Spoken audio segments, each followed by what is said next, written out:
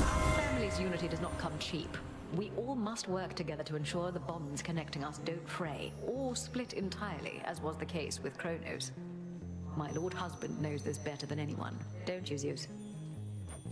Right, dear, that marriage can most certainly begin to feel like work. It was so easy for us in the early days, but our responsibilities have grown since, haven't they?